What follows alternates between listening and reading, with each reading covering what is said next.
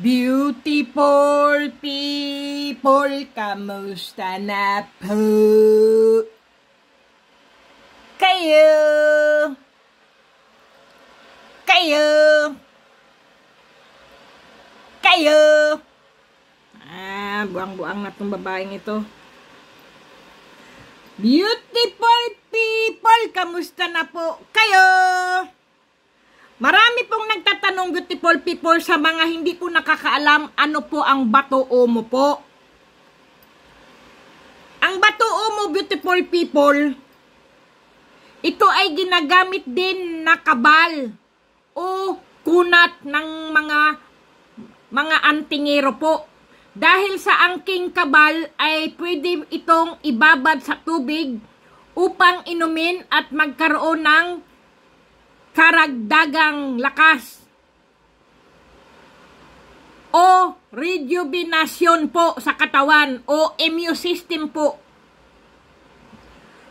Bukod doon ay pwede itong gamitin ng mga sabungero bilang anting-anting sa kanilang manok.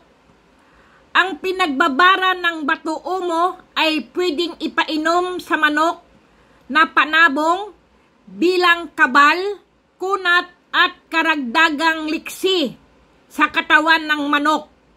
Mainam din na pangontra sa barang, kulam o gawang di tao, mainam na gamitin sa panghihilot at proteksyon sa pang-araw-araw beautiful people ang mutya umupo. Okay, beautiful people, kasi po maraming nagtatanong ano po ba ang mutya ng umo po. Ay iyan po, narinig nyo beautiful people, ganyan po ang ibig sabihin po ng mga mutya umo, beautiful people. Okay, wag nyo lang po lulunukin ang buo pong ganito. Diyos ko po, magbara po sa inyong lalamunan po yan. Tubig lang po ang ipainom nyo po sa mga manok nyo po o kaya po kayo mismo rin po ay ibabad nyo lang po sa tubig at ipainom nyo po o inumin nyo po ang tubig, hindi po ang bato umo po. Kasi puro kayo katarantaduhan din minsan beautiful people eh.